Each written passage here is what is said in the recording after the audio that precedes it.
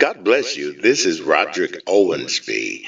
I want to inform you Monday night, August the 11th, 2014, I will be with the Anointed House of Prayer with Apostle V. Robertson in Gary, Indiana, 3139 West 11th Avenue, Gary, Indiana, 46404. Miracle Monday with Apostle V. Robinson. I want all of you that will meet me there.